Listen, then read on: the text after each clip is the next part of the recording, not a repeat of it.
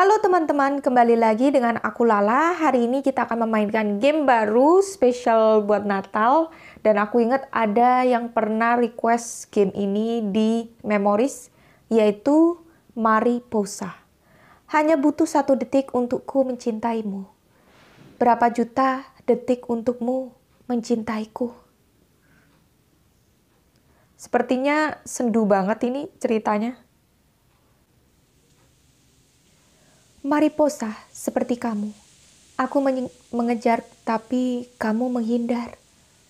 Mariposa seperti kamu. Hanya butuh satu detik untukku mencintaimu. Berapa juta detik untukmu mencintaiku? Apa arti dari kata mariposa? Aku juga nggak ngerti. Hari ini aku akan mengikuti final Olimpiade Kimia. Wah, pinter banget nih cewek. Aku bergegas ke, ke papan pengumuman mencari tahu di ruangan mana aku akan berjuang. Siapa namamu? Aja, kayak nama temen SD ku aja. Lala. Ternyata namaku tertulis di sebuah ruangan yang berada di lantai dua.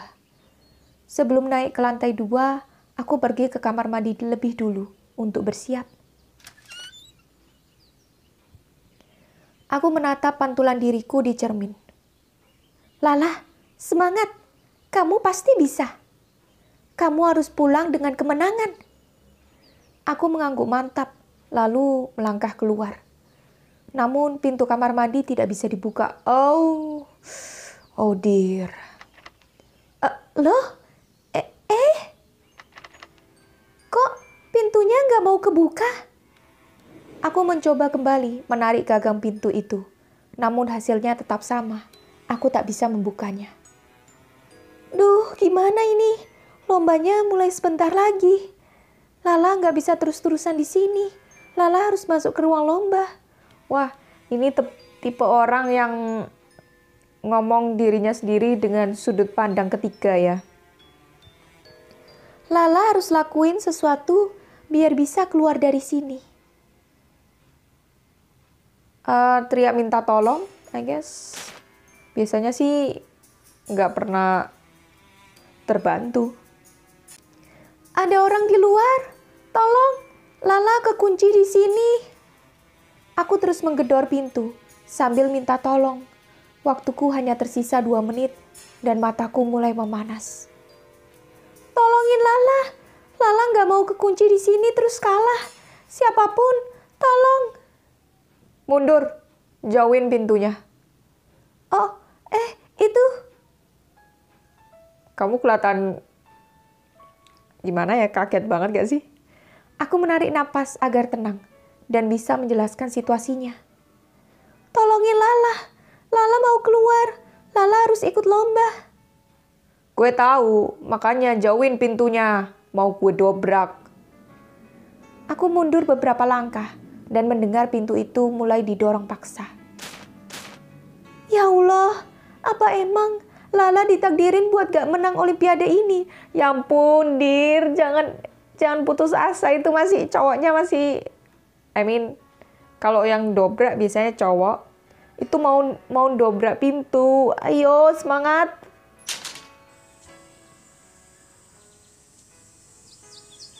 Akhirnya pintu mau terbuka.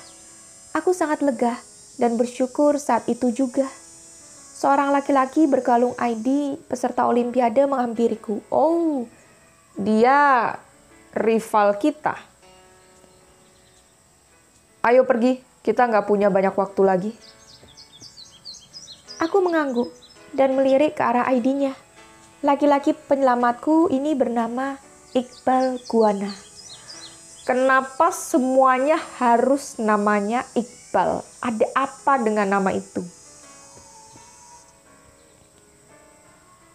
Kenapa? Kenapa aku jadi deg-degan? Astaga. Dan kucingku tiba-tiba berantem. Udah dah, capek. Terus sekarang lo masih kepikiran sama cowok itu? Masih. Kayaknya Lala jatuh cinta. Penasaran kayak gimana sih si Iqbal itu? Seorang pembeli masuk ke dalam kafe. Aku menoleh ke arah pintu dan terkejut. Pesen kayak biasanya, satu. Wah, dia Iqbal kan? Mataku tak lepas dari pria berseragam dengan earphone di telinganya. Kulihat ia berjalan ke salah satu bangku dan duduk di sana, menunggu minuman. Siapa sih? Amanda ikut memperhatikan pria yang kumaksud. Ah, si hati batu. Hmm? Hati batu? Kenapa Amanda panggil Iqbal dengan sebutan si hati batu? Satu sekolah sebut dia begitu. Aku baru sadar, seragam yang Amanda pakai sama dengan Iqbal. Ya ampun, Amanda teman sekolahnya Iqbal. Menurut lo, oh, dia itu cowok yang Lala ceritain. Cowok satu camp olimpiade sama Lala yang berwajah dingin, tapi berhati malaikat dah. Hati malaikat puser lo muter. Ngomong aja jarang. Gue kira dia itu bisu tahu. Astaga. Amanda, Lala gak suka kata-katanya. Amanda gak boleh ngomong kayak gitu. Gak baik menghina orang ganteng. Jadi si uh, Lala di sini adalah cewek pinter olimpiade yang uh, selalu pada jalan lurus, oke? Okay? Jadi maksud lo Iqbal yang ini? Aku buru-buru mengangguk. Lala ngerasa kalau Iqbal itu cinta pertama Lala. Astaga Lala, aduh. Baru kali ini Lala langsung jatuh cinta sama pria di pertemuan pertama.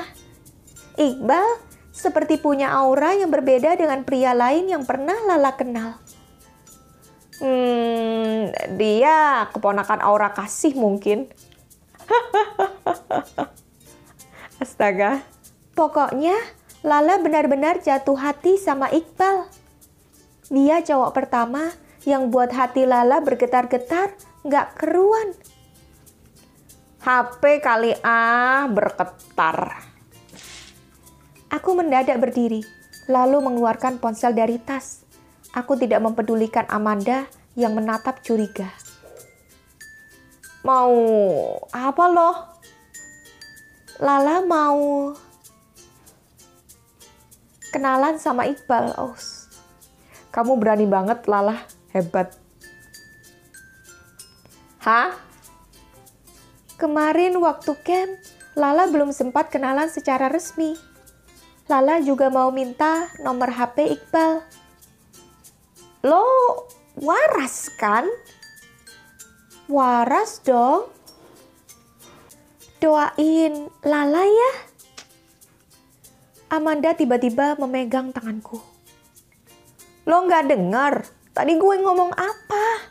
Dia jarang ngomong lah Lo nggak takut dicuekin. Amanda, tenang aja. Iqbal nggak akan bisa cuekin Lala yang cantik dan baik hati ini. Ya ampun Lala, egomu tinggi banget. Aku meninggalkan Amanda begitu saja dan menghampiri Iqbal yang sedang menunggu pesanannya.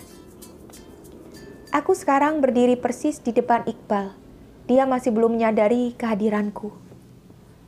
Melihat wajah Iqbal sedekat ini, jantungku jadi berdetak karuan. Boleh minta nomornya? Aku menyodorkan ponselku ke arah Iqbal. Oh, dir. Aduh, ini ini resep-resep akan terjadinya suatu peristiwa yang tidak mengenakan. Tapi Iqbal tidak bereaksi. Dia fokus menatap ponselnya sendiri. Permisi, minta nomor HP-nya dong. Iqbal tetap tidak merespon. Dia malah bersenandung mengikuti alunan lagu di earphone-nya. Aku menghela napas, menatapnya hati, memantapkan hati untuk lebih berani lagi. Excuse me. Iqbal, minta nomornya dong.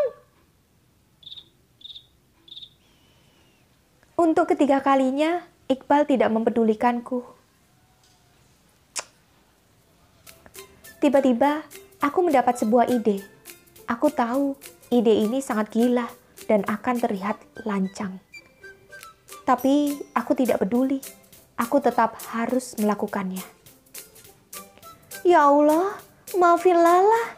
Lala minta maaf ya Allah. Maafin. Ya kalau kamu merasa itu salah jangan dilakukan Lala. Aduh, aku malu banget sama kamu. Yang penting Iqbal lihat Lala dulu. Memang cinta itu buta. Tarik earphone Iqbal. Iqbal terlonjak, terlonjak kaget setelah aku tarik salah satu earphone dari telinganya. Dia menatapku bingung. Minta nomor HP-nya? Boleh nggak? Uh... Iqbal berkedip beberapa kali, tapi dia tidak meresponku. Iqbal, minta nomornya. Lo, siapa? Suaranya Iqbal bikin jantung Lala lemah ya Allah. Astaga naga. Kenalin, Namaku Lala, umur 16 tahun, jenis kelamin perempuan. Sekolahnya di SMA Triabuna, anak dari ibu Kirana dan Lala masih jomblo. Ya ampun, dikasih sedikit riwayat hidup dong. Hah? Lala mau minta nomornya Iqbal. Kita satu camp olimpiade kemarin. Lala di kimia dan Iqbal di fisika. Iqbal pasti ingat sama Lala kan? Enggak. Ish.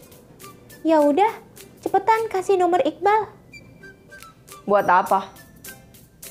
Buat bisa kabar-kabaran sama Iqbal. Ji Jai, Didir, oh dir. Lala suka sama Iqbal dalam pikirannya cowoknya gini, ini cewek nggak tahu malu tingkat 300% ini ya. Tiba-tiba Iqbal berdiri dari tempat duduknya. Loh, Iqbal mau ke mana? Iqbal tidak menjawab dan memasang kembali earphone-nya. Dia berjalan melewatiku, lalu mengambil pesanannya yang telah jadi. Iqbal beranjak keluar kafe tanpa sepatah kata. Iqbal, mau ke mana? Iqbal belum ngasih nomor HP Iqbal. Iqbal! Aku tidak peduli dengan orang-orang di dalam kafe yang memperhatikanku. Pikiranku hanya dipenuhi oleh Iqbal. Ya ampun, ini kalau aku punya temen kayak si Lala, ini aku malu banget. Lihat aja, Lala pasti da bisa dapetin nomor Iqbal. Pasti. Aku kembali menghampiri Amanda dan duduk di kursiku tadi. Lala, gila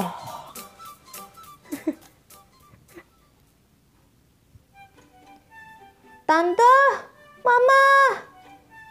Eh, anak Mama baru pulang kok udah teriak-teriak? Itu kok mukanya lecek gitu sih? Kayak baju yang gak disetrika aja.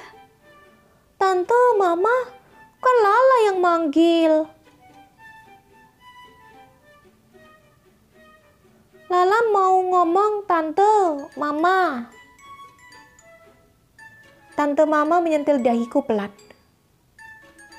Udah, mama bilang, jangan panggil tante mama. Kalau mau panggil tante, ya tante aja. Kalau mau panggil mama, ya mama aja. Terserah Lala dong. Salah sendiri, jadi mama tiri Lala. Tante mama tertawa pelan sambil menggelengkan kepalanya. Kenapa tadi manggil mama? ada masalah di sekolah? Sini, cerita. Pertanyaan tante mama membuatku teringat alasanku memanggilnya tadi. Lala mau pindah sekolah. Uh, pindah? Ke kenapa, nak? Tadi Lala ketemu Iqbal waktu di kafe sama Amanda. Lala samperin Iqbal, terus minta nomor HP-nya. Tapi Iqbal nolak dan ninggalin Lala begitu aja. Padahal Lala nggak tahu kapan lagi bisa ketemu Iqbal. Iqbal yang satu camp olimpiade sama kamu itu?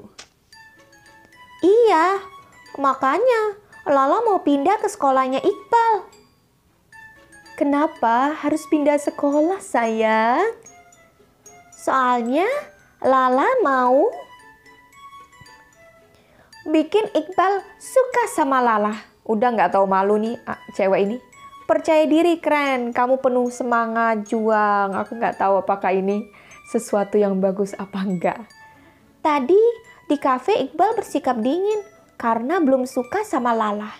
Jadi Lala harus pindah sekolah dan bikin Iqbal suka juga sama Lala ada-ada aja deh. Pokoknya Lala mau pindah ke sekolahnya Iqbal, Tante Mama.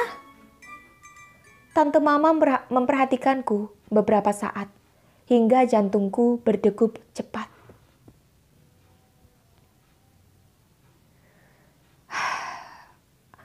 Ada-ada aja anak cewek. Ini seriusan. Tante Mama.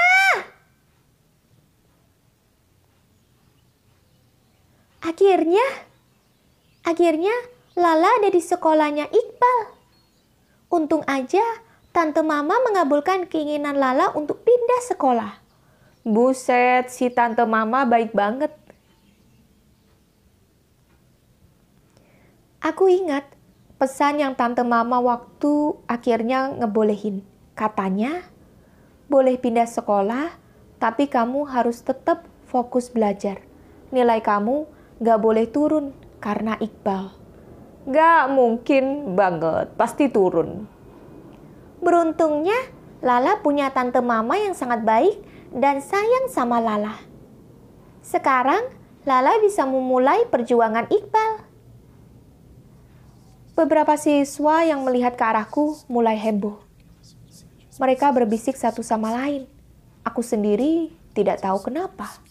Padahal aku memakai seragam yang sama. Aku mengalihkan pandangan ke arah lain dan melihat sosok Iqbal yang baru saja datang. Selamat pagi, Iqbal. Siapa? Kenalin, namaku Lala, umur 16 tahun, jenis kelamin perempuan yang kemarin minta kenalan. Dua hari kemarin, Lala masih sekolah di SMA Triabuna. Tapi karena Lala suka sama Iqbal, akhirnya Lala memutuskan pindah sekolah di SMA Arwana mulai hari ini. Dan Lala masih jomblo loh. Ya ampun. Ini benar-benar bikin malu orang yang lihat gak sih?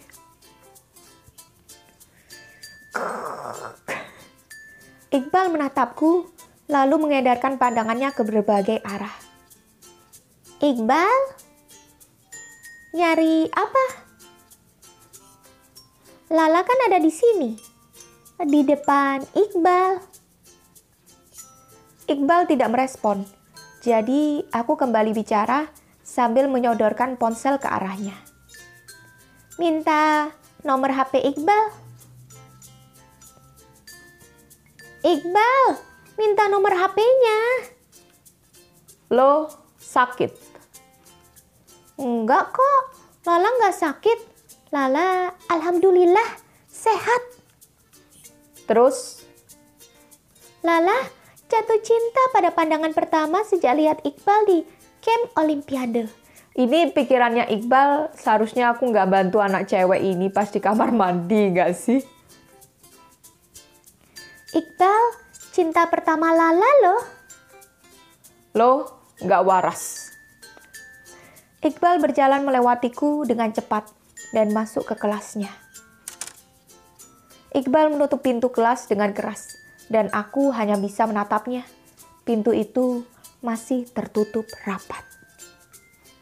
Iqbal masih nggak mau ngasih nomornya, tapi Lala nggak boleh menyerah. Aku menghela napas, memantapkan hati.